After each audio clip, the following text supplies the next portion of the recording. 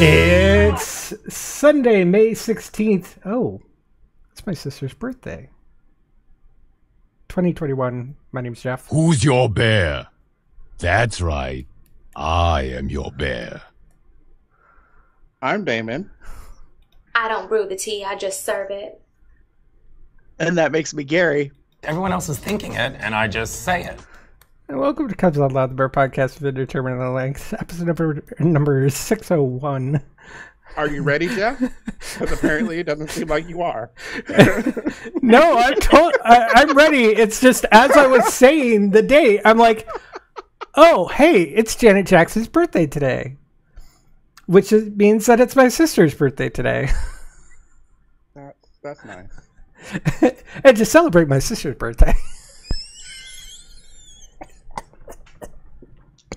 Sorry, I'm just finding this hilarious that I just remembered my sister's birthday. But we have Edward Angelini-Cooke with us. Yay! Yay! I just find it funny that you were saying that I, you know, I wasn't ready yet, and I just said something randomly, and then Oh, I was totally ready. I was just saying. I'm like, oh, hey. for the intro, and then Look, I did the intro perfectly. I just was like, like, ding, sudden realization. It's not like I'm going to do anything for my sister's birthday right at this moment. I'm just like, oh, hey, I just realized this. so, Gary, to celebrate my sister's bogus. birthday, what are we talking about? well, I don't know how relevant this will be to your sister, but hey, Jeff's sister, if you listen to the show, Things did you very know there are a few great ways that you can help support Cubs Out Loud? In 2018, we joined Patreon, and all of our patron subscribers get full access to our shows, including the pre show, which you just missed, and the post show that's yet to come. See, we like to give you a little edge there. For just a dollar a month, you can get behind the scenes access and help Cubs Out Loud. You can find out more at patreon.com slash Cubs Out Loud. We want to thank our COL patrons for supporting the show. And this week's episode is another entry in the Landscape of Relationships series. This time we're going to talk about friends with benefits. brown Ah. chicken, brown cow. Wink, wink, nudge, nudge.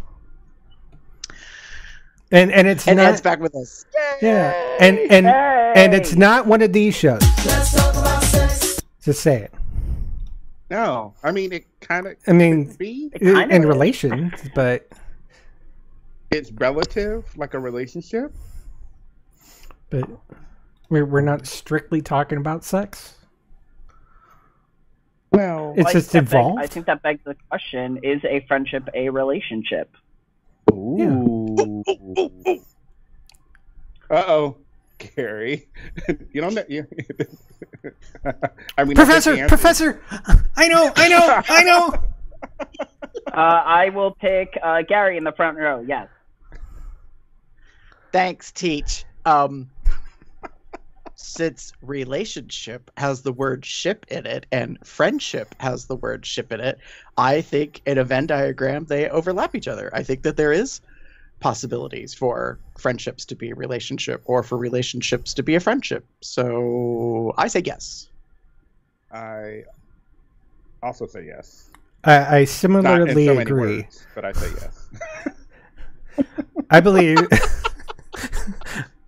I, I I believe a friendship is part of the relationships because like when you I would say this is not quite a Venn diagram because when I think Venn diagram we think of friendship and relationship being two separate things but there's a crossover in there. But I don't think that's the case. I think that the uh, the friendship is inside the bubble of relationships because there are different type of relationships inside such as job work related relationships family rela- familiar relationships uh, um, intimate relationships etc Yeah, you're all right. You get all the points. A pluses for everybody. man I, Yay. Uh, man this is this is the yeah. best uh, this is the best professor i've ever had well, yeah, because I mean, so you know, if we're looking at this as the landscape of relationships, uh, you know, there is a wide range of different kinds of relationships, and friendship is one of them. Um, think about it like an umbrella, uh, where uh, friendship falls under that. Uh, but the and you know, like so, when I was kind of you know, doing the research that I typically always do, uh, you know, I found so a lot of couples define friendships as a very important kind of relationship, and within the LGBTQ community, historically, friendship has been very important because we've you know needed to rely on friends um, after maybe another relationship in our life a family relationship we didn't get support um, so you know we talk a lot about in the lgbtq community as the chosen family Yes. Mhm. Very true. That's very true. hmm And um, so there was an article in the Atlantic in 2020 that talks about um, kind of the um, the importance of friendship and uh, the importance of friendship from a cultural and historical context. Um, Like they talk about uh, like romantic friendships of the the 19th uh, century. Um, you know, these are friendships that use a lot of flowery language, and a lot of times people look at those uh, those friendships um, and they they think, oh well, they were intimate relationships when that typically or sometimes wasn't always the case. Um, so, like our definition of what considers to be a romantic relationship versus a friendship has evolved over time. And one of the reasons that this happens is we have developed this idea of the relationship escalator, which we've talked about before, and that is a set of societal expectations for intimate relationships that partners follow um, a progressive set of steps, each with clear markers with a goal in mind. Um, and those are, you know, like flirting. Then we have initiation, where we're like, you know, doing the deed, right? Um, then we have the claiming and like defining stage, like, hey, do you want to do this? Like, are we are we boyfriend girlfriend? Are we boyfriends? Right? What's going on? Um, and then we get established where we're um, kind of um, merging our schedules together, right? And we're sharing time together. Then we then we have some kind of commitment, right? We're saying, hey, this is an exclusive relationship. Um, that's where kind of the expectation of monogamy comes in. And then we merge our lives together. Um, typically, we are, uh, you know, there's the assumption that we're going to merge our finances, um, merge our lives. We're going to move in together. Um, and then the conclusion uh, stage is when we are getting married um, or we're having a, a, a ki- we're having kids. Um, and these are like what society deems as really important stages in a, a relationship timeline. Um, and finally, the legacy, right? Um, uh, no, actually, I think the legacy is when we buy a house together and when we have and raise kids. And a lot of times, relationships are judged if we don't do those things, right? Like those are kind of the clear indications that like this is a successful relationship. For yes, for some people. Not for some people, right? Yeah. Yeah. Not for everybody. and this is why sometimes people um, have a hard time when when maybe two people are really close. They're like, "Well, are you in a relationship? Like, what's your deal?" Right? So we have this like cultural narrative, um, this like script that if you're really close and you're you're kind of intimate, that there has to be some kind of romantic relationship. Yes. When that's not always Every like all the time we want to just we need to define something. We almost always have to. Like it's I think ingrained in our nature to like you two over there who are always together, who always go out, who always do things together, who obviously are fucking. Like like like what what is this? Like what what is going on here? Like we need to know what's going on here because we need to as a society define it so that we can know whether we like it or not. I'm going to put it like that. Like I think in some ways that's kind of what it is.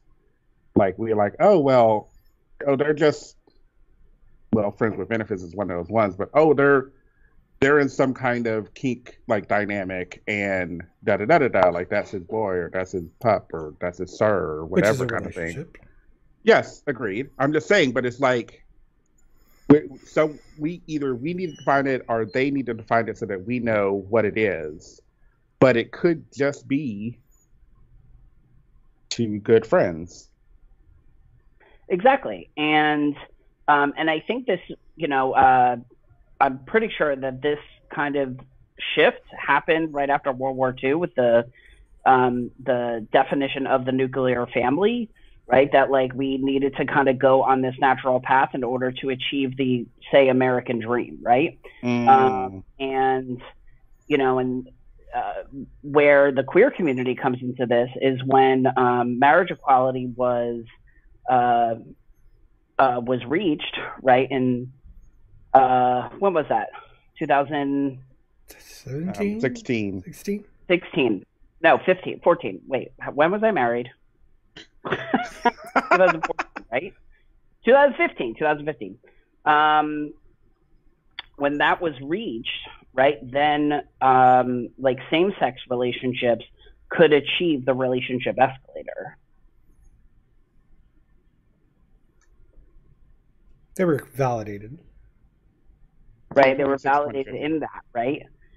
Yeah. However, a lot of people in the in the queer community really resisted against that because they were like, no, this process has, you know, totally, um, you know, been our enemy for so long. Like, we don't want to be defined by heteronormative ideals.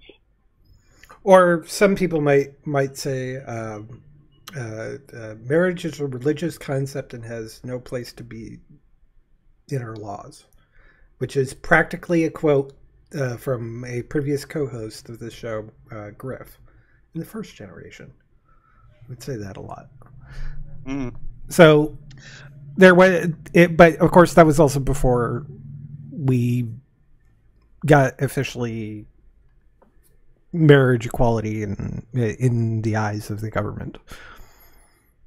Well, uh, right, and on, on this particular like uh, tangential like portion of the show about like marriage, I agree. Like when I was in college, my mom had said to me, "Do I ever think that you know same-sex couples will be able to marry?" And I said, "Well." society and or government has to move beyond the issue of spiritual marriage versus legal marriage i'm like they are two totally different things political legal justice marriage is built on spiritual marriage. I'm like, but spiritual marriage has many problems because spiritual marriage came from a growth out of societal like construct and had to do with treating your spouse as chattel and possessive and like so there's a lot of things that have to be addressed and dealt with that. So Mhm. when um, Obergefell versus Hodges was decided in June of 2015 by the Supreme Court, the issue was that, you know, trying to bridge together these two areas of spiritual versus like just justice, political, legal. Um, so I find it interesting that, you know, that there was a, and probably still is to this day, quite, you know, a certain amount of opinions on that stuff. Yeah. So Ed, I got a question for you, and I don't mean to like play uh challenging pupil, but so my question is so the relationship escalator is about intimate relationships, but I was thinking most of the way through this, what about a platonic relationship? Would it would it would the relationship escalator model not be applicable to that? Well, not well. So here's the thing: is that a platonic relationship, or even like a um, a non-platonic relationship, like we're talking about, like a friends with benefits, when people um, see two people who are very, maybe even very intimate, whether that is you know emotionally, sexually, whatever, uh, they're like, oh well, there is this expectation that you're going to go on this relationship ex- uh, escalator, when that's not always the case, right? And this is why um like this is where kind of like the um like consensual non-monogamy comes in right like you can step off of the relationship escalator right to define your own relationship and not conform to the ideas of this uh like society's expectations of how a relationship progresses Mm-hmm. Yeah, I, th- I think the relationship, the relationship escalator is the uh, um, uh, romantic relationship escalator. Right. So Yeah. like Yeah, it's it, it because I wouldn't be surprised if you could probably do a similar sort of thing with different types of relationships. It just wouldn't be the same escalator. right, and we're See, and I- we're gonna like yeah, we're gonna talk about that. because Mhm. this one leads to the end of the romantic relationship. Uh, you know, this is this this one leads to J.C. Penney's. Uh, but if you take this other escalator, it, it um, uh, it's uh, actually a friends with benefits, uh, good friends with benefits uh, uh, escalator. Uh, it leads to J.C. Penney's, or, or not J.C. Penney's, Macy's. I guess because I'm looking at I'm it, just trying to think of like mall stores. So I probably would have said Spencer's for the friends with benefits. Um, so, yeah, that's probably that's probably a good good good cause. but the reason I'm asking is because I think of two of my of my female best friends. Um, the first of which we had said if we got to age 40 and both of us were still single, we were going to move in together and just live out the rest of our lives as a platonic relationship. Like we would still pursue intimacy with, you know, those that we wanted to. It just wouldn't be with each other. but Mm. and this is mind you this is when we're in our 20s and i think of my current best friend who is a, a lesbian and how like we have made contact we have initiated like our relationship as friends we have claimed to define the relationship over the past 20 plus years we've been committed to each other in terms of like being there for each other in times of like great strife and difficulty and challenges um, we've merged our lives not like physically together, but we've shared a great many things. I know about their family, they know about my family. Like they've actually met my family. Um, I've not necessarily met theirs. Well, that's not true. I met one person. We didn't get along. So um, this is back when I was in my 20s and very outspoken. Um, and and it really hasn't had a conclusion, but it does have a legacy. So that's where I guess, and maybe it's just me. I'm like I'm looking at the model concept, and I'm like, well, I think it's applicable outside of that, and you know, to just call it like romantic or intimate. But then again, I'm not. That's why I'm posing it and saying, "Eh, I think this is applicable in several different ways. But It's actually multiple escalators. You, is going through some of the s- steps is the first escalator. Then you can divide and go into two different directions on two more escalators. Yeah, I mean, so like, Thank so Mom. that uh, that the Atlantic article really talks about that. That like some people, um, like their closest friends, right, are at the forefront of their lives, right, and like if they do get into a romantic relationship, there's this expectation, like, hey, like, like you're not going to, you know, like you, like I guess there's a, an expectation of like romantic relationships that there's a hierarchy, um, Mm. and with um with some people it's like no like you know this relationship this friendship that i have is like very vital to me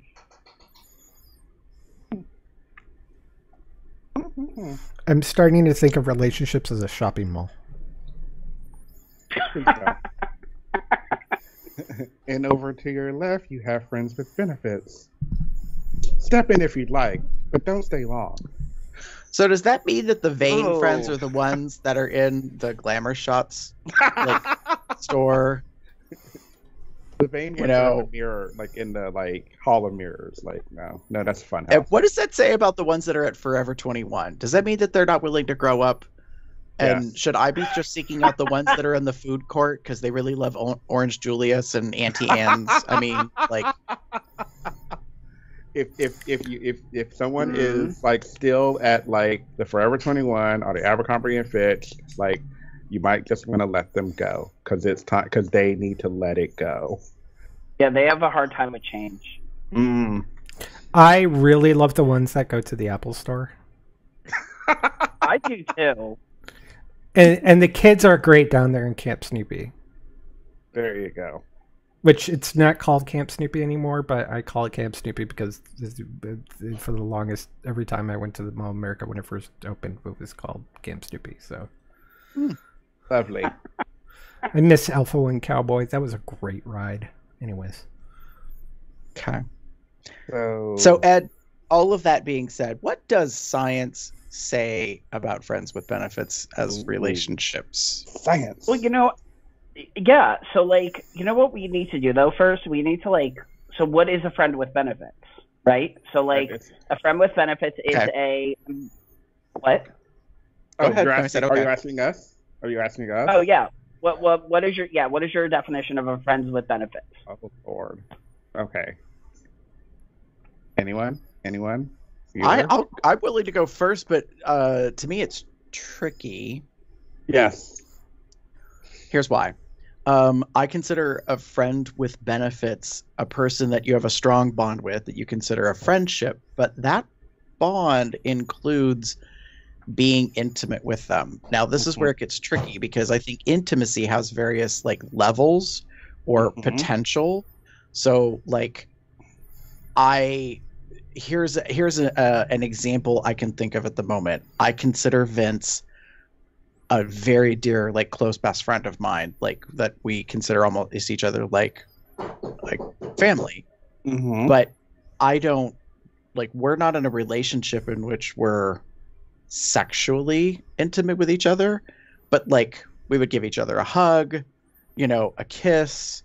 So like those are displays of affection. That is some level of intimacy that I do not share with other friends.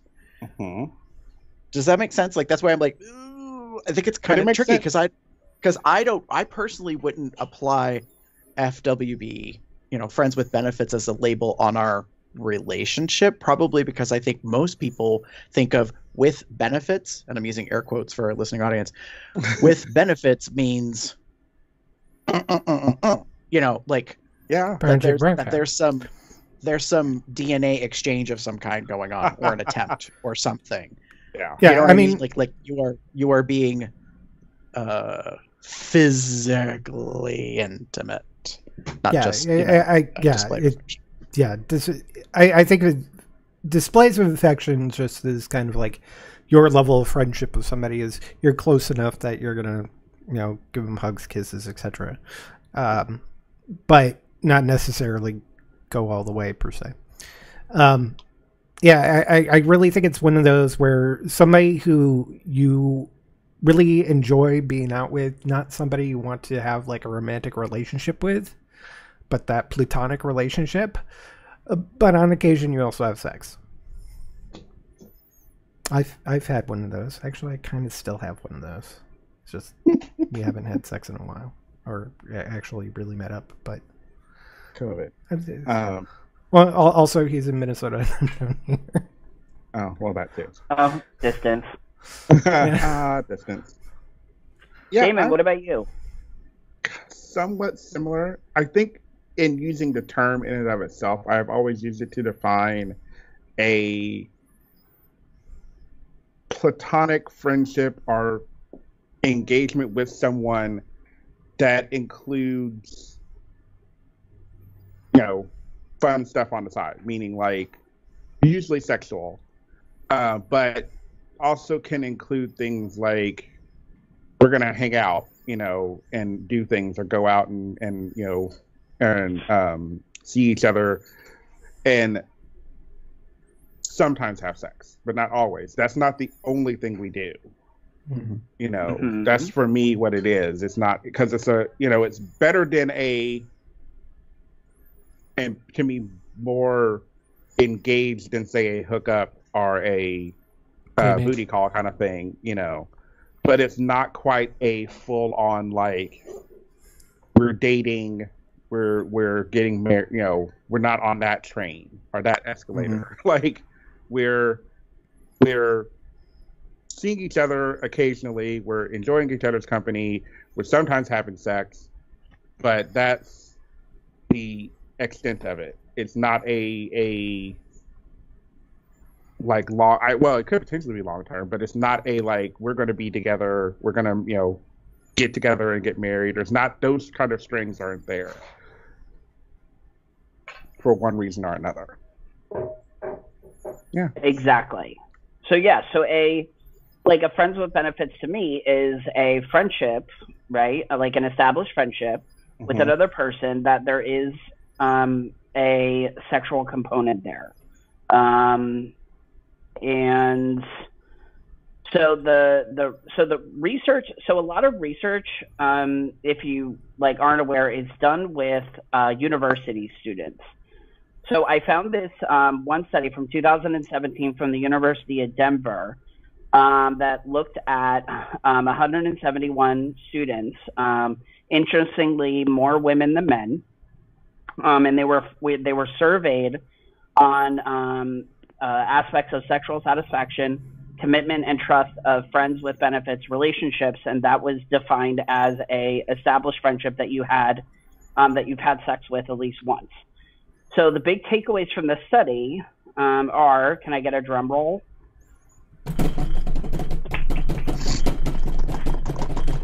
Communication and healthy, uh, healthy boundary setting. Um, oh, Gee, this sounds familiar. This sounds very familiar, right? So they Yeah. found that sexual satisfaction was important, but so was um, sacrificing for the good of the of the partner and not looking for the for the next best thing, as well as uh, communication and setting healthy boundaries with with that person. Um, now, with um, university students, um, so when I went to the University of Delaware, like you know, seven years ago, um, I took a class um, where we talked about you know school life and everything, and a lot of the students that I um, was interacting with really favored friends with benefit situations because they were already so stressed with school that having a romantic relationship would just be an added stressor. So they opted for the friends with benefits um, arrangement in order to reduce stress, which I thought was very fascinating. it actually makes a lot of sense when you think about it. Right? Like, I like you know, Good friends, You don't stated buddies, uh, uh, reward each other with, with sexual gratification. Maybe I'm Mhm. thinking more along the lines of like I don't have to worry about like. Well, you may still, but like you don't necessarily have to worry about like scheduling time and and and being together with your romantic partner when you're just like hanging out kind of thing and like they you you would think again think that a partner romantically would know like you're in college so like you've got a lot you've got all this stuff that you have to do as well. But that doesn't always work. We've seen it happen in every fucking college movie like like out there. Like or every like high school where the person goes away to college kind of bullshit movie that we've seen. Like it's, it's always there. So but again again i like the idea behind the whole the communication and boundaries because that's kind of important you know if you're kind of in this like friends with benefits situation and like hey like i i know I got a test on thir- Tuesday uh. Thursday. yeah Uh, uh, I as much as I would love to come over and fuck, I can't. And then they're like, "Oh no, I understand. Thank you for telling me. I'll work on such and such." or more or do you need help? or more along the lines of like every Tuesday night I have a class that goes until like ten o'clock. Like I'm not going to be free until maybe eleven. Like just so you know. Here's my class kind- schedule. hmm So, uh, so yeah. So, I mean, I think that that also makes a lot of sense to me. Um, so, and also looking at some of the, um, you know, resources on friends with benefits, um, I got some tips, um, and I got some kind of um, rules of engagement, if you will uh, because a lot of the resources talk about the fact that friends with benefits, while it sounds sexy, um, it's not always great and it can be difficult. So, um, the the key thing here is that friends with benefits are supposed to decrease pressure pressure, not add pressure. Mm. Um, so uh, the the one thing that uh, is suggested to uh, help decrease pressure pressure is not go seeking for a friend with benefit. because in order for um, for there to be a friend with benefit, you have to have an established friendship. So that means that Mm. um, you're going to have to like have a shared history. There has to be some trust involved. Um, you know, and those things take time. So to call a an arrangement of friends with benefit from the beginning would be a misnomer. Mm. That's not true. And you're you're with that you're adding pressure um, to a to a a young relationship, right? Expectations that may not necessarily be on the same page with the other person. Exactly. So like so these things are going to take time. Um they also must be mutually beneficial and convenient.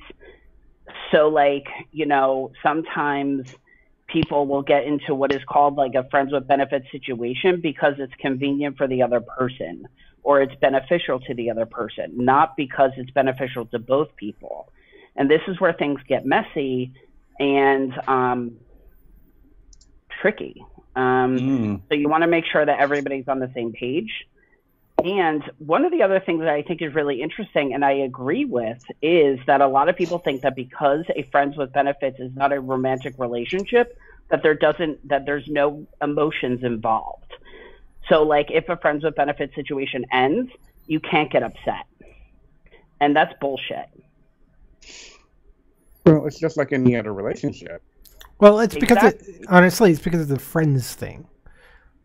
Because when you take a look at like uh, things like uh, uh, a booty call, you know, or you know, it's somebody who you have a your your relationship just involves getting together for a sex a, a hookup, uh, not necessarily even one time fuck buddy, whatever you want to call it.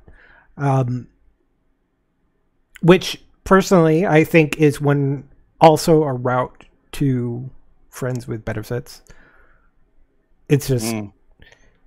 you start with the benefits and then maybe eventually along the line something happens where you end up becoming more than just the benefits and becoming the, the, the friends. You could start as a friend and then get benefits, or start with the benefits and then become a friend too. You know that sort of thing. But um, it, but because you hit that friend zone, which sounds weird, it just having the friends uh, attached to it is where you actually start getting an emotional connection. Mm. Mm-hmm. but when you're when you're just dealing with the benefits just that that fuck bitty it's like uh, they can't do it uh, we haven't gotten together i'm just not going to worry about it because that's all we did we didn't really become Yeah, that we're, we didn't get that friend zone that's a really important distinction. Mm. So uh, so so yeah so yeah we'll we'll talk more about that. But um, so there are these two quotes from this article that I, I linked in here that I thought were really awesome. Um, so I Mhm. wanted to read those. Um, so the first um, one is it's confusing to try to develop friendship founded on a sexual relationship guided by a rule system that has to be invented as you go. Or when you're trying to force a friendship so that you can add sex as a benefit, where does the friendship part fit in? That's putting the benefits before the friendship, True. right? And that kind of speaks to what what Jeff was talking about. Um, that like um, with a friends with benefit situation, one of the really important things is the with the, the word friends with benefits of that term, friend comes first, benefits comes second. Okay. yeah. So the the second one is sexual exploration can and often does become a part of an existing friendship between consenting people, or you may have been in a romantic and or sexual relationship with this person earlier in your life, but now it's morphed into a friendship. In such circumstances, the sexual connection may remain or may be reintroduced, but the common thread is the history between you, the investment you share in the friendship, and the trust that has formed. You recognize that you both enjoy the chemistry, but you may not be as compatible emotionally as you are sexually. It's a mutually understood experience. The connection you have as friends determines whether this time in your life and in your relationship is right to be sharing benefits. Mm. That's a good one. Hmm. Yeah. So here's so here's kind of my kind of thoughts on this. Mhm. If we look at the relate if we look at the relationship escalator, sounds like a relationship. Mm-hmm. So like I can understand how some people um, who like maybe invest in the relationship escalator model would look at something like this and be like, well, y'all are dating. or y'all are in a romantic relationship. And that adds anxiety to what could just be a friends with benefits situation. Mhm. Yeah.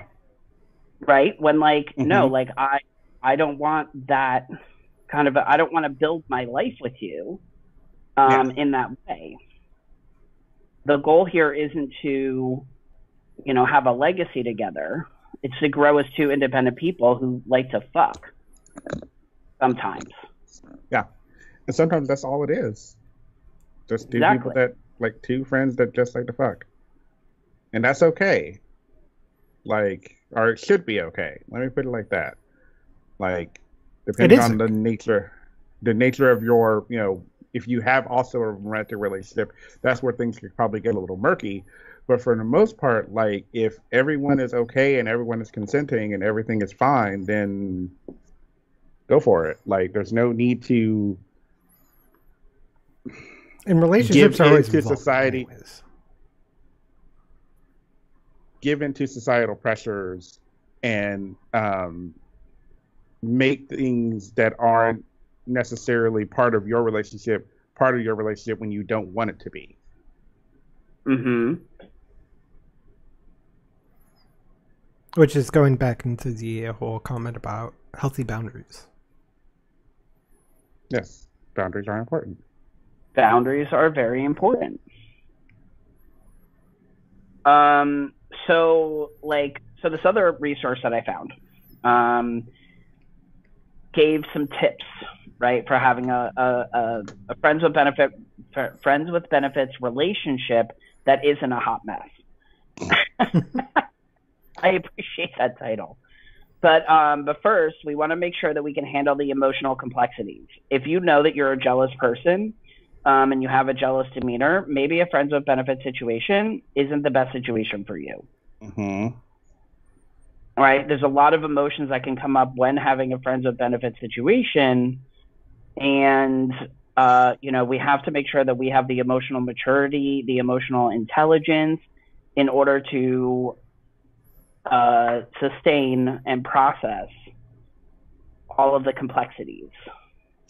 I think one of the keys to that particular point, Ed, is do you have the ability to remove yourself from the situation in terms of like how you think about it? Like, can you keep yourself in check if you do find that things are becoming emotionally like challenging? Mm. And by that I mean like, you know, can you say to yourself, okay, I apparently am getting upset or envious or mad or jealous or something. And I think if you have that ability to recognize what's happening, you can work on that and then determine where you want to go and what direction and maybe, you know, this isn't good for you to continue at that point.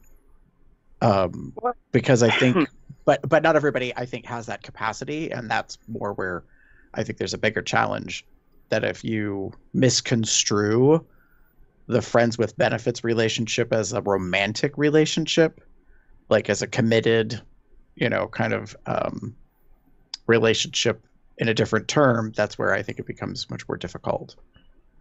And that was one of the things that uh, that uh, the the study in the University of Denver said that the problems start happening when the one of the people in the relationship starts seeing them as a we and not an I.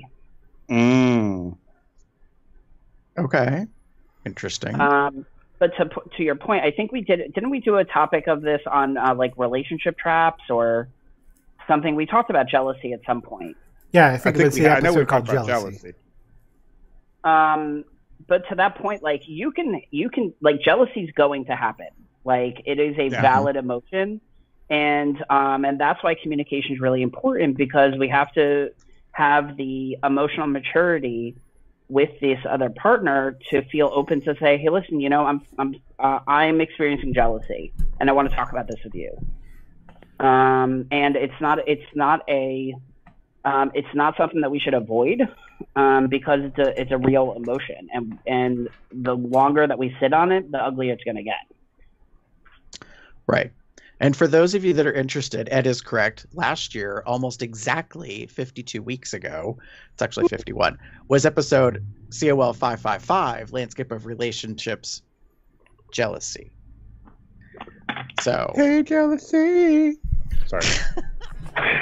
if you would like to watch the video, it's uh, you can go either go to cubsoutloud.com and search for that episode, or go to our YouTube page at youtube.com slash cubsoutloud and go into the uh, playlist called Landscape of Relationships. I love that we have a playlist. Yeah. So, um, so the next tip is, which I really appreciate, is to make sure that we are defining what friend means and what benefits mean, um, and make sure that the other person is on the same page as far as those definitions uh, are set, and then also they can change at any minute. Mm. So true. So very And they true. are- When they are changing, we need to have a conversation about the changes that need to be made. Communication. Hmm And boundaries.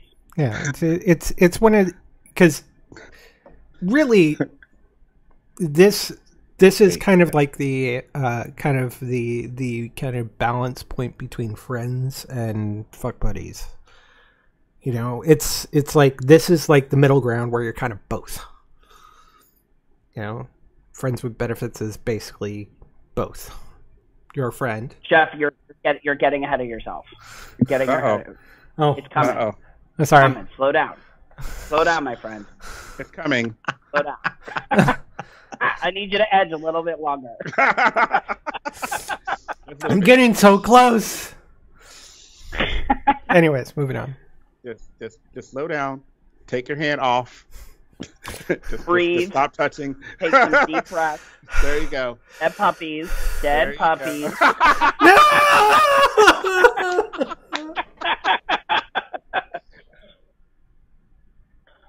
Oh, that's hilarious. Okay, Anyway. so to continue with that, um, so we also don't want to start a friends with benefit relationship with somebody who wants something more, Big one. And that is that is something that is, I think, a common um, trap that a lot of friend with benefit situations run into um, when one of the people uh, just goes along with saying it's a friends with benefit when they want something more Mm-hmm. and they're not they're they're not confident enough to say to the other person hey i think i want something more from you Mm-hmm. because they're afraid that if they say that then that will end the the interaction Yeah. That's But- a big one. but right, but there should be a healthy conversation about really absolutely like wants, desires, needs, Mhm. like because that's how you determine the boundaries. yes, that would be a that's a very brave conversation to have and it can happen, but the person can just lie. I'm just, I'm just gonna say it. I'm just gonna be honest with you. Like I want, like the the person A who wants just like our friends with benefits thing can say, this is what the boundaries and what the whatever is going to be, and the person B who actually wants something more to it is going to be like, uh huh, yeah, sure, right, okay, I agree, Yeah, sounds good. that's a I'll healthy stick relationship. right to that. I will stick to that, and then three months down the line, why were you out with that bitch? Like, like I just like that is the I, like, like Right. I mean, but, but to me, that's that's where things have shifted, though. Like one person in particular started moving into that jealousy realm, Mm-hmm. using going off of your example, Damon. Like I agree that yes, well, a person could lie. Um, I would hope though that the friendship is, is well enough established that like honesty is one of the building blocks that establish this relationship. So while I can understand that a person would be hesitant to open up because as we've discussed before, that makes you vulnerable. Mhm. And you know, vulnerability is intimate in some fashion. Mhm. So Mhm. I think that would be a, a key thing to address, you know, to another person if for some reason you would like the the situation to change Mm. or modify. Or more importantly, I think just talking about it. Like Yeah. having the conversation and saying, Hey, I really enjoy the time we spend together. And I don't mean just like well, you know, when you're trying to, you know, fill me with your DNA. I also like hanging out just in general and the things that we do. And that's when you hopefully, I'm going to say, in my opinion, hit the pause button in the conversation and wait for a response. Because communication is, is that, you know, two-way street, so to speak, in this in this circumstance, this example, let them think and process and reflect. Like sometimes less is more. And in this moment, you don't maybe know how they're going to respond and where they feel about this.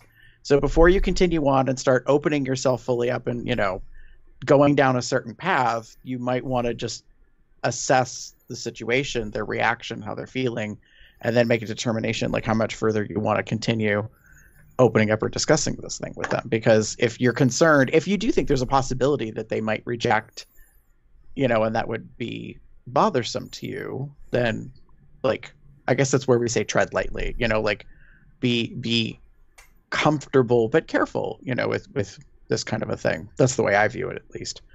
As opposed to just you know opening up and being like hey not only do i like it like when we have fun together and we make each other you know come i also would like to do more things and you know Yeah. like stuff in public and and pursue potentially dating. Like you could do that but to me that's like kind of really putting it on the table. Mm-hmm. And So- that's where sometimes the friends with benefits relationship ends and the romantic relationship begins. And they can sway into each other, I'm pretty sure. Like a friendship can develop into a friendship with benefits relationship and then can develop into a intimate relationship. We're not saying it can't, Right. but I think that's um, an important distinction, if that makes sense. Like, Right. Like, I, I hate putting the the boundary around all of those things, but that's kind of the point. So, Well, it is. I mean, because we talked about the fact that, like, you know, communication and boundaries are really important when we're having these discussions, right? So, like, um, you know, as far as benefits, like, what does that mean for you? Are we allowed to, um, are we allowed to, you know, is it, you know, are the benefits just sexually related? Are they just acts? Are there, you know, emotional benefits? Um, Yeah. financial benefits like like Mm. what is it um and that's why it's really important to be clear so that when those boundaries get crossed the other person can say hey listen remember when we had this discussion and we talked about the benefits that were involved in this well you know you've been blah blah blah blah blah that wasn't um that wasn't talked about when we had the conversation about benefits is that something that you feel like you need if so, I can't provide that. mm. hmm I'm not here to invalidate your need. I'm saying that I cannot provide that in this in this situation because if this if a friends with benefits situation is supposed to be mutual beneficial and also convenient for both of us, that is inconvenient for me. yes. So we need to redefine. We need to we need to renegotiate. Mm-hmm.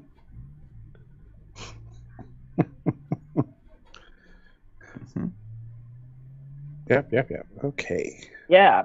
Um, but again, those are very brave and vulnerable and authentic conversations to have. And a lot of times people don't have those skills. They don't have, um, they don't have that because they're afraid of the rejection. Mm. Yep. which which I guess is like I mean it's fair, but I think it becomes more. Uh, oh, I don't want to use this word. Complicated, like because if this is a person that you really have a friendship with and you want to, you know, modify it and become friends with benefits, I think that for some people that will heighten the anxiety of rejection Mhm. because I think some people will take it in a certain direction and say, well, if they decline or if it begins and then it ends, what does that say about me? What does that say about our friendship? Like, does that mean we no longer can be friends? Like, do you know what I mean? Like, like I think it, a lot of it, it begins a whole what if like mentality, like scenario, and and can be kind of crippling in a way, like to Yep. just having a, a good strong bond with another person. And this is why I think it's really important to know which orientation that person has as far as relationships go. So if you're talking to somebody who seems to be on the relationship escalator path, this may be difficult, right? Like they may have difficult ex- different expectations. But if you have somebody who has a history or you know a shared history of not being on the the the, the traditional relationship escalator, these conversations may be a little bit more easier to have because they have some fundamental understanding to help with that conversation. Mhm. Fair Hmm. point. Mhm. right? Um, but like we're very like I'm. I mean, I know a lot of people who maybe don't ascribe to the relationship escalator model, but still are conditioned to it. So like anytime something kind of comes up, it's like the fear goes, "Oh my god, what if? what if they Mhm. want? What if? What if they want a relationship? Oh my god, they just told me they love me. Oh my god, they want to get married, right? no, that's that's not necessarily true. True that. Yeah. Um, Agreed. so like the other thing um, I would love to get y'all's uh, thoughts on this is transparency with sex life. Can we elaborate on this? Because that seems really wide open to No, me. too vague. No, too vague. So, and um, as a tip for having a you know maybe a healthy friends with benefits relationship, it would be helpful for each other to be transparent with their um, their sexual history, with their with do they have any other current friends with benefits? Like what um, what are they engaging in? What kind of sexual health um, steps are they taking to protect you So let me let me see if I'm catching this correctly. What we're discussing is transparency with sex of of our of their of our sex lives with each other. mm-hmm. Okay. Because to me that's totally different. Because just going off the outline we're working on, it says transparency with sex life. I was like, uh, I'm not a person who's open to like telling and flagging to the whole world what my sex life is like. So that's why I was like, uh, could we discuss this? No, Because I, I, what I think we, we, guy. we and each of us read this wrong. This guy. I, I felt Well, like no, this no, is like, uh, but I think this is that this is where the interpretation comes in, though, Jeff. Like each of us have a Mm. kind of a different aspect to it. So, what were you going to say, Jeff? Yeah, eh, because uh, I definitely read it more of um, something that happens anytime you're gonna you're gonna have sex with somebody is being transparent with your sexual partner. So this is not necessarily exclusive to friends with benefits. This is your romantic partner. This is your uh, uh, non-romantic uh, uh, uh, hookup and just being like, "Hey, this is my current state." Maybe you're not going to give the full details, but uh, with one person over another, but I would still consider it that you that no matter your your sexual partner in whatever relationship that uh, sexual partner is with you, um, that you're going to be transparent with them. Like you're going to be like, "Hey, up front, here's the current situation." I'm negative. I'm PrEP or whatever. I'm positive, undetected, or something like that. Detectable. you know, it's it's uh, they, these are the things I found in, in when I have sex. You know, it's just being transparent. Is uh, is I, I feel like this is a thing that should be the case with any sexual partner. Mm-hmm. Good point, Damon. What what were you thinking? Um, similar to what Jeff was mentioning, that you would essentially talk about what your um, sex life is, um, what your what you do, like our like sexual history, what have you, would be a part of that conversation. Um, uh, to the extent that what they may not already know if that makes sense. They're a friend, so Right. Depending on the level of your friendship, they may know some things already. You Right. know, and we all have that. We all know that. You know, we have, you know, we have that friend that we consider a quote unquote slut because of their promiscuity, as we say. But you know, they may not be as as as what as we think they are, and they could also be kind of what Jeff was saying. Like, I'm someone who always discloses my information. I get tested regularly.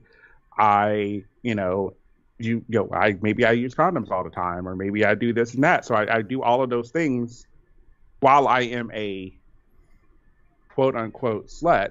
I'm taking care of myself and people I have sex with, and that Mhm. might allow someone who is going into this kind of friend with benefit situation to make the decisions on whether or not they want to move forward with it.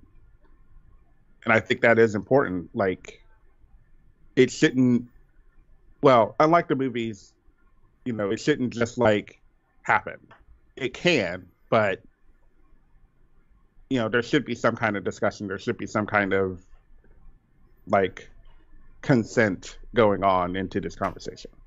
Mm-hmm. Right. 'Cause, Like, I mean, if you're, um, like, I don't think that this should be something that you don't talk about, right? This shouldn't be like an off the table topic, right? Because, you know, I'm having sex with everybody that you're having sex with. Um, and, um, you know, I would like to know, right? Like, are you, are you sexually active with anybody else? Um, you know, uh, what are the, what are the, you know, do you use condoms? Like, what sex acts are you using? What, like, how are you reducing your risk, right? Like all these things, and it's very easy to, to get into the, the habit of like, I'm just not gonna, you know, I'm not gonna say anything Mm-hmm. and that's where the um like that study comes in where like you you know like you have to consider the health of anybody else that you're having sex with at the same time Mm-hmm. Yeah. So I agree with all of that. I think that the that it's paramount for a healthy relationship to discuss each other's like those those dynamics about like sexual history and activity and status, those type of things. The way it, it originally been kind of brought up or listed was I was taking it also another level to like that you're open to telling others about your friendship with benefits. And I was like, mm-hmm. obviously that would need to be discussed between you and and this other individual or Sure. other individuals however many. But my feeling on it is like it's nobody's business. So mm-hmm. right like if if you want to have that discussion you can. But i don't think it's a necessity to be transparent beyond like the the inner bubble i guess i don't know how else to phrase it Mm. um well I, I updated the tag in there so to put it to a Mhm. transparency with each other's sexual history Ah. Right. Um. So, uh, so Jeff, you can finally shoot your load here. So, uh, friends with benefits, uh, fuck buddies are two totally different things. Mm. That's so true. And I agree. okay lucy please explain So, a friends with benefits, right, is somebody who you have an established friendship with, right? A fuck buddy is somebody where the relationship is typically sex centered, right? Um, so it's it's mainly just you're just you know it's it's mainly just a a sexual relationship, not a friendship. Mm-hmm. and that So fuck, makes fuck buddies have hookups. Essentially. Booty calls. Yeah. Whereas like friends with benefits have dates, meetups, hangouts. They have a friendship. Yeah. Hangouts. Yeah. Yeah. I would yeah. So it's very I and I kind of totally get that when you think about it. I agree with you. Mm-hmm. Like it it's it's yeah, they are separate. They're not the same.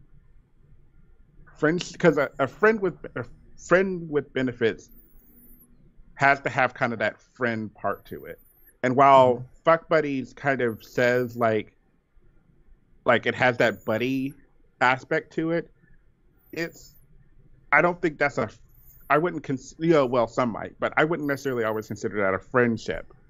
You might know them, but you know, do you know their last name? And Do you also, know where- Do you know their actual name? yeah. Right. or or, is it just Sloppy Bottom 23? Yeah. I'm fucked buddies Um, with Sloppy Bottom 23. I don't know his real name, or I just call him Jack, Jake. But like I don't I don't know I don't know his last name. I may know a couple of things about his life. We may have conversations about, you know, sexual stuff, but like for the most part, it center the the relationship centers almost wholly around sex. mm-hmm. Yeah. Good And point. also, if you look at it, like we have friends with benefits, so that's friends first, and a fuck buddy is fuck first.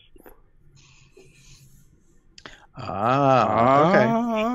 Ah, I That's funny. So funny story about why I'm bringing this up. So not only was it in the um, in this this this article thing, this listicle, if you will, but while I was showering this morning at the campsite, um, somebody who was in the shower like across from me was having a conversation, and he was like, "Oh, I'm here with a friend and a fuck buddy," and I went, "Her?" and it was like, oh, what's the difference between a friends with benefits and a fuck buddy?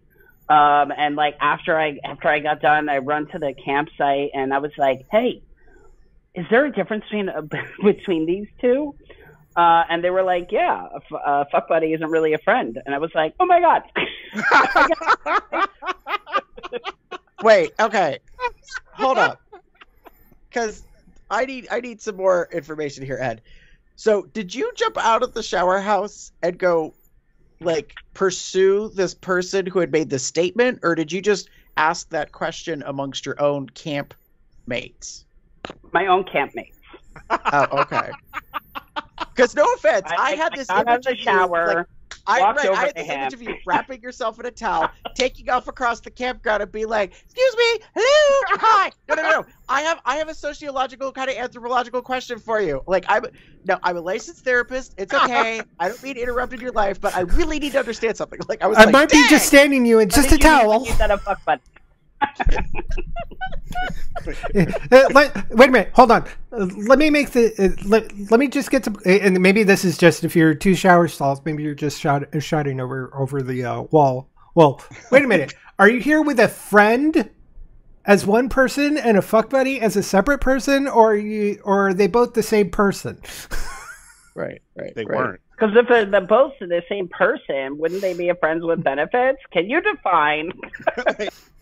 I need more info. like It was so funny. Right. but it actually makes like I said, like you said, it makes the most sense when you think about it. Like, Right. fuck buddy ain't your friend. Yeah, I, I, I really think there is a, a difference between like a, a hookup and a, a fuck buddy because a fuck buddy is like a, a, a repeat client, for lack of a better term, uh, in my head. You know, somebody you you it's like like I need sex. Oh, I'm gonna contact this guy. We'll, have sex. Um, uh, or it's just the you know the one night stands. So the first first time you meet somebody at the bar and you go back to your one of your places, that sort of thing. That's that's not that's a hookup versus a buddy, a fuck buddy. You get that relationship that you're going to have sex more than at least one or two times. Mm. There's a, there's levels. Yeah. Um, and then also, when I was looking up, um, another word that is commonly used for maybe something related is no strings attached. Mm. Okay. Yeah. But, like, sometimes when you call, like, when you say, like, no strings attached, sometimes there are strings attached. Yeah. Somebody forgot about a string. no string. I would see to me when you know NSA like no strings attached. I'm like, oh, that's a fuck buddy. Like no no entanglements, no emotional like commitments, no like complexities. It is it is just like We are here a to pole, exchange DNA. a DNA. pole is a pole, a hole is a hole. Like we are here to exchange DNA, and then we're done. Yeah. Mm-hmm. Like I just I I will own like no strings attached was the wor- one of the oddest things for me to like grasp because to me there is always a string and that string is like we have essentially become intimate with each other sexually so we are we are in some way attached like whether you like it or not like that is like that is like I kind of like that Yeah. album too. Hmm? No strings attached by NSYNC. Oh, anyway. Um, but yeah, no. Um, but yeah, like I, I don't kinda- know. I have, I have, some, I have some current friendships that started as no strings attached. Yeah, I mean, it's it's taken me Mhm. a well, not, I'm not that I'm still doing it. I, it took me a while to like grasp this whole NSA kind of feeling, and but I do understand it as someone who has been involved with someone and doesn't really necessarily need like 200 people like attached to me like so Yeah. The, the goal is to, to have sex, and you, you know, if you don't again, well, that's no big deal. But uh, it, uh, all these types of relationships are, to me, are ever in a constant state of evolution, in one way or another. fair Right. So it thinks like I was I was saying before is, is is you might have a fuck buddy that you know you just got eh, end up hooking up and then just one time it's like like ah, I'm hungry. Oh, do you want to go to Applebee's? Sure. Get dressed, go to Applebee's, hang out, and then all of a sudden you're getting more of the, the hanging out all of a sudden you're you're you're pretty decent friends Uh, maybe maybe not like best friends but at least friends friends and then and you still have sex so now now you go from from being fuck buddies to friends with benefits because i've had some like uh some uh, fuck buddies that I, I go over we get off and like we'll lay there in bed and talk about like completely non a bunch of completely non-sexual stuff maybe something philosophical um, geeky or just some random thing. And while that could still be fuck buddy because that was our intention and we're also still naked and sometimes we end up going with the second round etc um uh but but that still that pillow talk could end up turning into something a little bit more of a relationship whether it's just friendship or hell. You maybe it would end up being a relationship and just kind of like revol- revolves. But it could also go the other way might have have somebody who who was a fuck buddy goes through you, you guys become good friends but then you kind of like grow apart still end up having sex every once in a while they go back to fuck buddy and then eventually Yeah. gone etc so it's this constant I- state of flux in relationships and, and it's like the No. the hard friendships and and uh, uh, romantic relationships get are, are those that get to a point that solidify into like a permanent part of your life. Like my friend keith in that i was a roommate with in in minnesota. I haven't really talked to him in a long time but i still consider him a pretty good friend. And uh, if he hits me up in facebook we talk and and such. That's he's kind of a permanent part of my my life. Uh, meanwhile, there are other people who I've had been playmates with, some gotten known well, and then it just kind of we grew apart, or because of distance or whatever, just we haven't spoken in forever or something. So because of that constant change, uh, changing of your environment and and things, and things like even COVID, this whole COVID debacle, debacle probably changed a bunch of relationships. Mm-hmm. Yeah. So, um, so I guess like the final two points here are that friendship, relationship, bene- fri friends with benefits, relationships are about respect and boundaries and communication. Mhm. Um, and we want to pri- prioritize the friendship over the benefits. True. Right. Very, I very think- true. I think the key aspect, Ed, that you had said earlier was that friends with benefits starts with the word friends. Yep. So the friendship is like the the priority, the key factor. Friends. Yeah, and maybe if you want to, if you want to kind of gather or gauge if you have a healthy friend with benefit situation, go to the movies one night with your friend with benefit. Don't have sex, and see what that's like for you. Experiment. Interesting. I could see it being like very interesting. Like, oh, Your reward for par- uh, for participating in this is we're going to uh, end up having all day uh, uh, long session. We're going to stay naked in the no, in the apartment, Netflix and chill. don't mention. We don't mention the reward. The movie's over, or the dinner's over, or whatever, and No, You give a this is something you say afterwards. hug, kiss, good night. and then then afterwards it says, "Hey, yeah, want to come Netflix and chill on Saturday, right. Like all day? come over Friday night. We'll just leave Sunday morning. It's fine." We'll order pizza. We'll have some drinks. Hell, hell, we'll prepare and like have DiGiorno or something. Wow. No. All right. Yeah, just pop in the oven. It's not delivery. It's Pop it in the oven while you pop it in his. Wait, what? Yeah. What? Huh? So also like something else to consider is the fact that like within um, the bear community, um, I think that uh, friends with benefits uh, we see often because sometimes we don't see our friend with benefits maybe once a year at a bear run, right? So like there are times throughout the year where you're maybe hanging out with them, but it's like non-conventional, whether you're doing it online or you know over the phone through texting, right? And then when you go to that event you have you know your fun with them you have the benefits mm-hmm. right Sometimes the entire weekend, and no one ever sees you. exactly hmm There you go. wow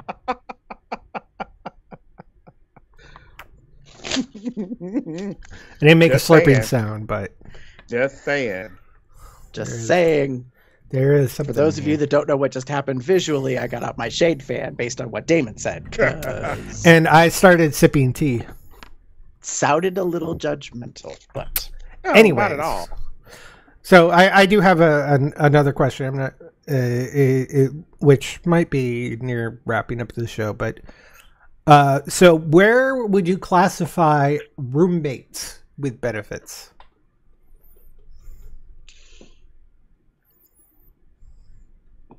That's a good question. Are you? Oh, Gary has an answer. um i picked gary in the front row again I think it depends on whether or not you're friends with your roommates. I think that I think that's where the answer lies. If you're just roommates and you have sex, then I think you're in the realm of being fuck buddies. If you have roommates and you're friends with them and you have sex with them, then you are friends with benefits. Yeah. I mean, to me, to me, that's kind of th- that's my viewpoint. I think that's the dividing line because I could see either of those. Like, Yeah. I've I've had roommates that I've not been intimate with in any fashion. It was mm-hmm. purely, you know, platonic relationship that we shared a space and we were quite comfortable with that. But I could also potentially see myself having a roommate that I'm not in a relationship with, but we enjoy being intimate with each other. So I would consider that like a friend with a benefit. We mm-hmm. happen to cohabitate. Yeah. I kind I- of feel and the I- same way. I think the complexity comes from the outside view. I think where a lot of frustration and, and confusion and problems can arise is from other people, like Ed, you were talking about the escalator concept, that people are trying to apply a label. Like they're trying to put you in a box. They're not Mhm. sure what this means. They're trying to contextualize it for themselves and figure Yeah. out like how they should reference it, what it what it is. And I can uh, while I can understand that struggle on a on a like you know logistics level, like you know how your brain processes things. There's another part of me that's like, not your fucking business. Thank you. so mean, right, it's like it's not it's not for you to know. It's not for me to know. Like and I get it. Like I'm a very curious minded individual, so I would like to know. But again, it's also not my business. Not my So business.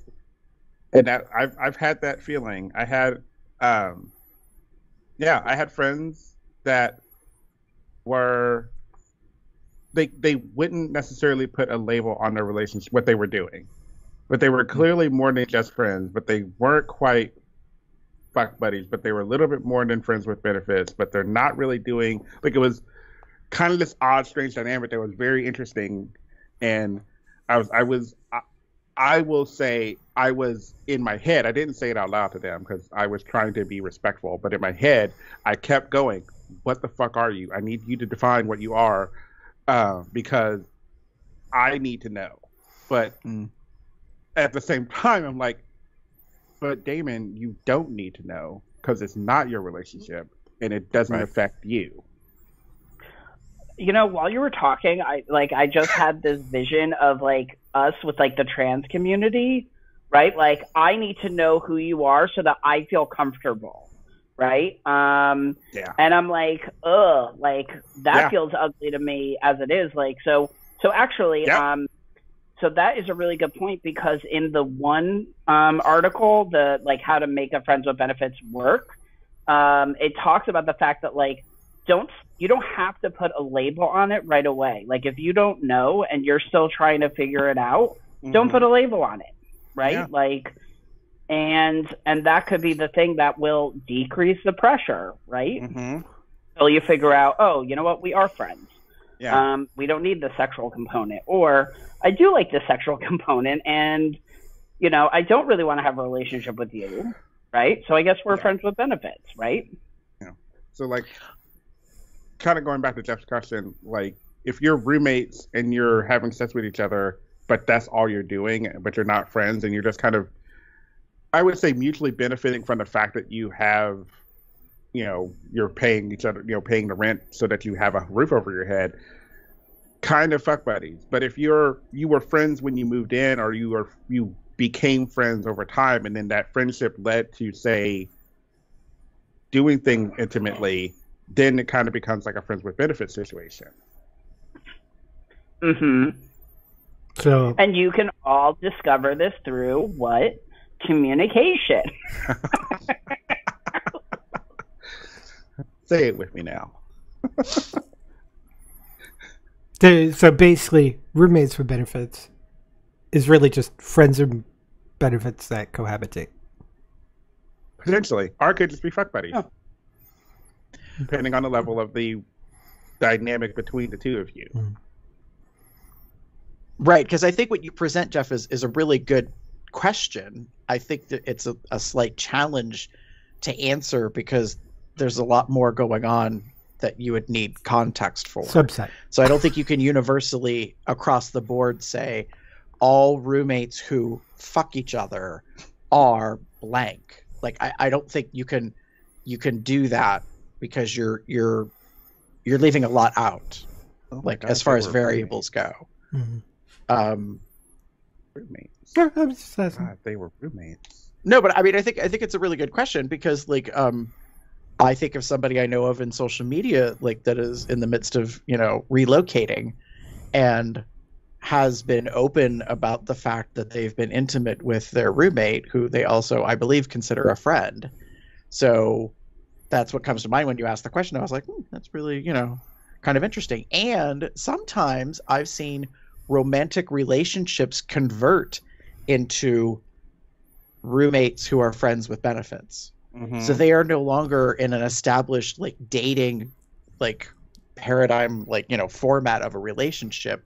They have have shifted and now they are cohabitating and they are intimate with each other, but they may not be romantically like as involved you know and and made that decision and that's another view or a variable that can be complex to people from the outside because they're like what the hell's going on like i thought you two weren't dating i didn't think you two were together anymore but like you know you're constantly you know coming inside each other what what what what what what like Uh-huh.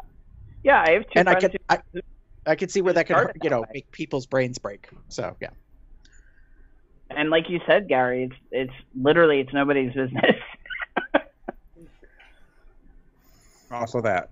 Ain't your business. But some of us are perverts and we're voyeurs and we like to know. So anyways. Some some of us are more logical. That we need to have some order in our life, and part of that order is is being able to label it, mm-hmm. define it. In some way, shape, or form. Try to clear that line. I'll take one more time. Sorry. What? It's a Salt-N-Pepa song. None of your business. There's a, there's a whole song. Yeah, I mean, I, I, I, I have a song in my head, and that's "Ain't, ain't Your Business" uh, uh, from uh, uh, ICP. So completely different. completely different. Total different genre. completely different. Anyways, Well, Ed, I, I want to thank you for coming on for what I think is our seventh episode in the Landscape of Relationships series, and I'm happy to say that we have more coming. Pun intended. Uh, so we're going to see you in a few weeks, in about a month, uh, for another topic. So hmm I think this was a really good one. I'm glad that you came on and, and broke it down for us. Yeah, I am too. I th- uh, I think this I think this was helpful. I think even I was able to give myself even some clarity um, regarding friends with benefits. it is it is an important type of relationship, in my humble opinion. You don't have to have one, but it's there if you if you need it.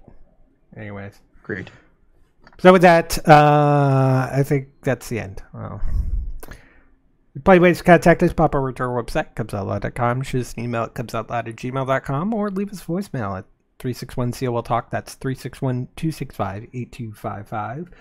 You can follow us on various social media outlets at Instagram, Facebook, Tumblr, Twitter, and YouTube at Cubs Out Loud in the appropriate place of the URL.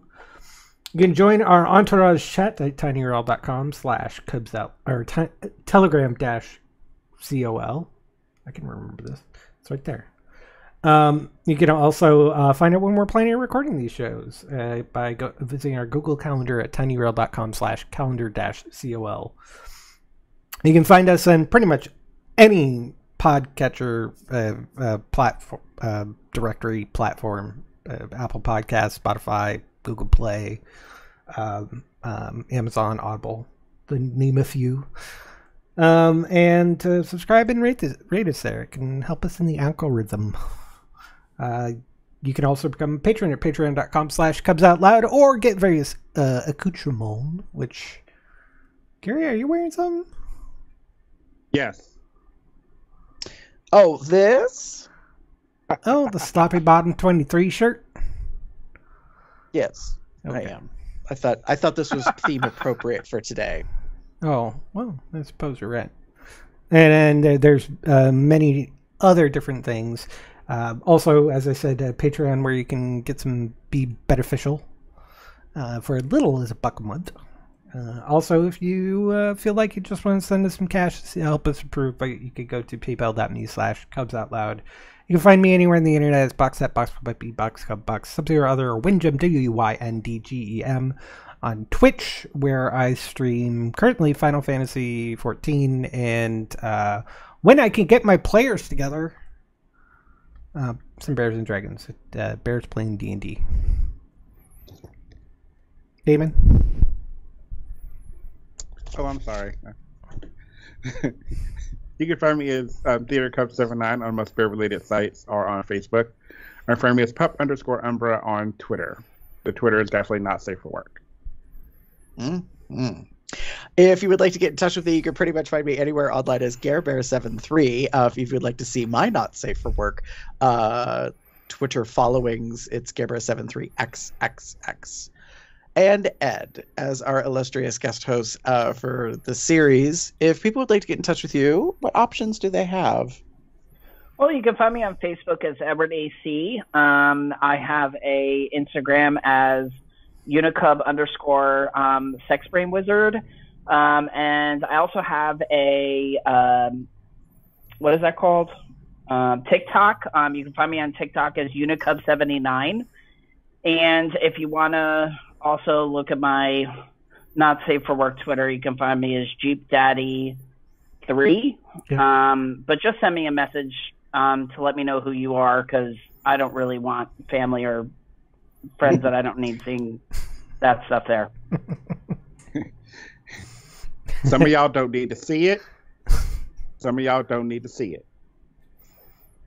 And with that, say good night, everybody. Good night, everybody. Bye, everybody. Ciao for now.